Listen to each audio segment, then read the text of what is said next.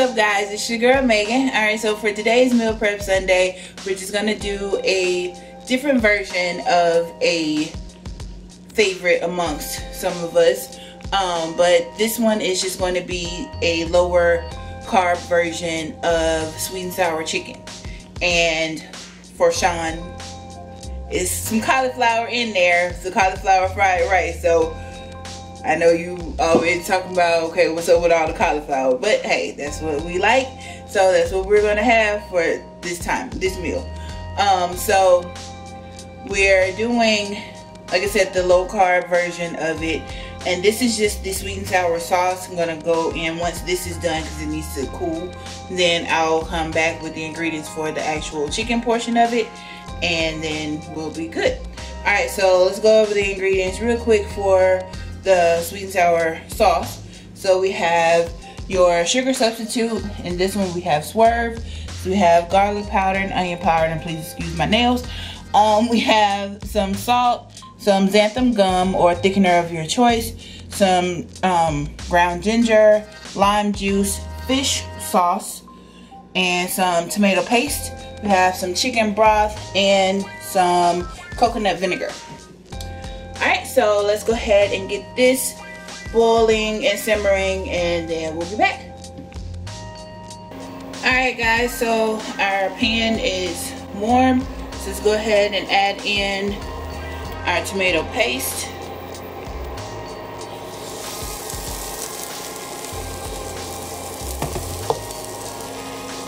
Coconut vinegar, chicken broth,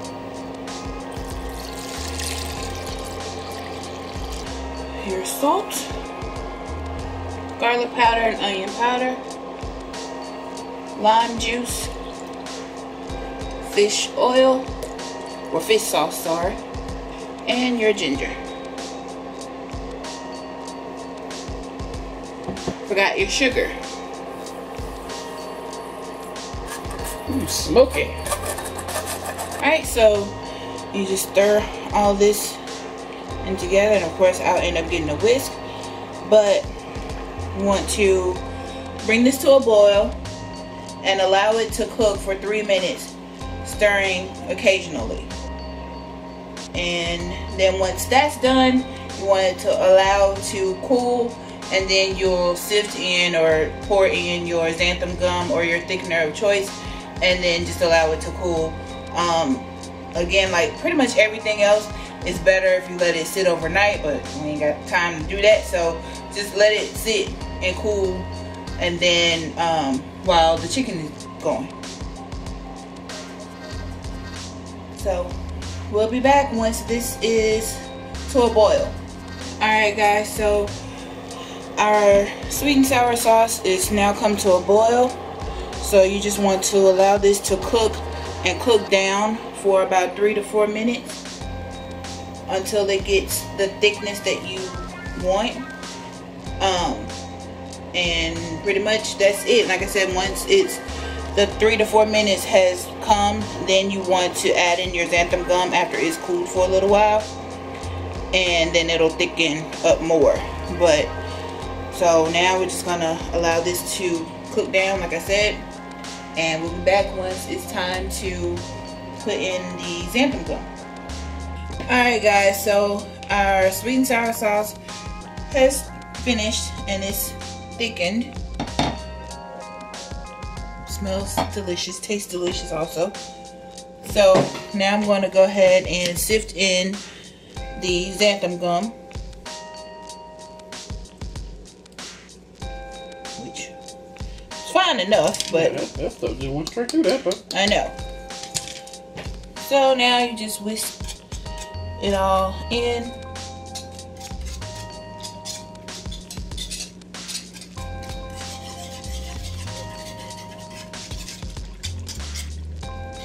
And it's thickening up even more.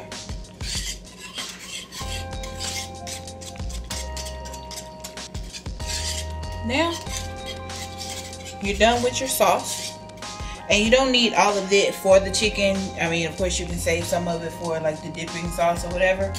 Um, so yeah, we're gonna sit this to the side and now work on the actual chicken.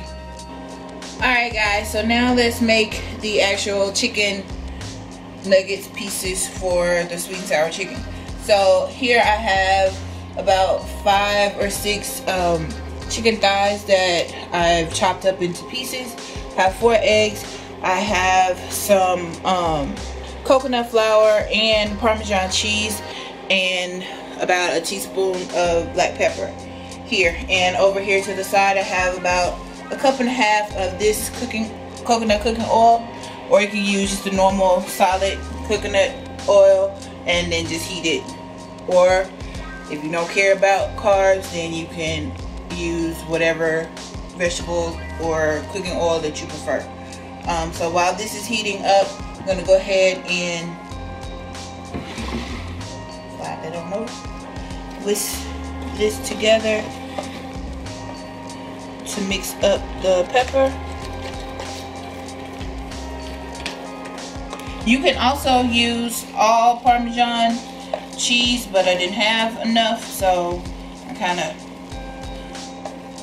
improvised and added the coconut flour. I didn't add any salt because, of course, Parmesan has salt in it. So you definitely don't want it to be too salty. Alright, so now let's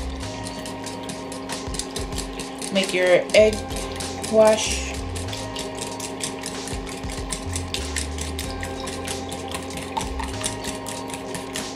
Alright, so those of you that know how to uh, use the egg wash or whatever when you're doing your chicken, make sure that they're coated.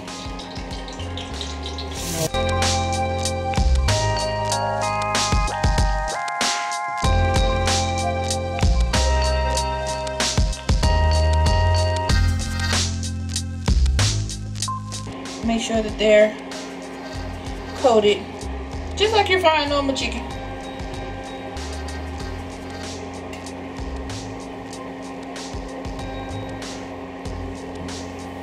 And you just lay them in your oil. You want to have at least an inch of oil in there. You don't need a whole lot unless you're putting it in like a deep fryer. And definitely don't overcrowd your your pan just like normal chicken.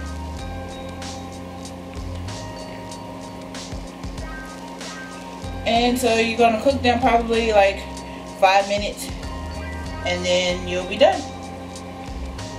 So I'll be back once that gets done.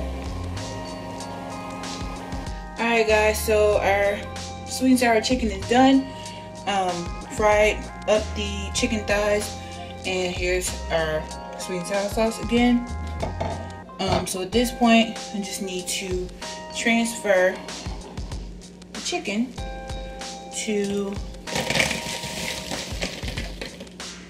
a container. Just like you're doing like hot wings or something.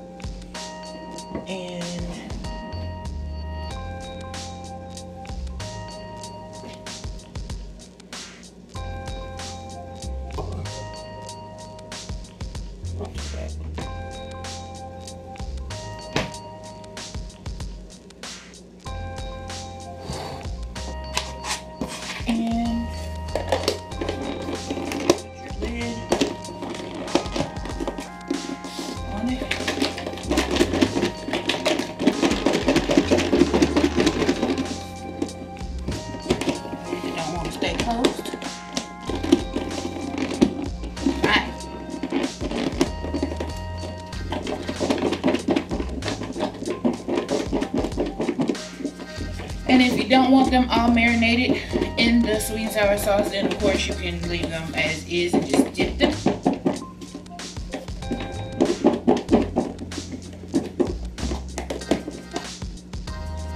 There you are. So if you need more, you can add a little more.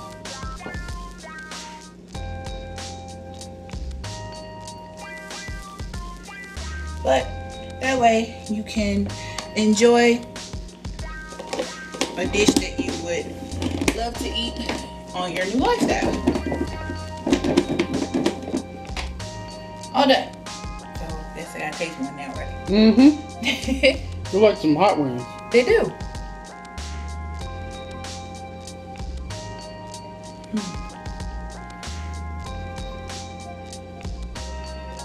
So good. Course, they're not gonna taste exactly like, you know, your traditional carry out sweet and sour chicken, but it'll get your fix in for sure. but if you guys decide to try it, of course, you know, let us know and tag us in your pictures and stuff on Facebook, Twitter, Instagram, Snapchat, whichever social media social media site that you follow us on. But go ahead and give us those thumbs up, subscribe if you haven't, and share this video on all the social media however you see fit. Alright guys, bye.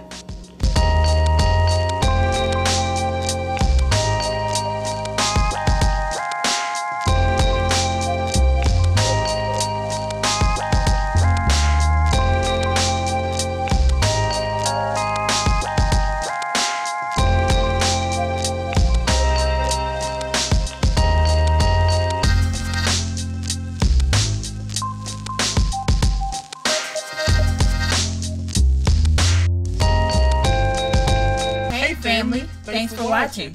Please be sure to follow us on Facebook, Twitter, and Instagram. Also, check out our latest video and be sure to subscribe. Bye, Bye guys.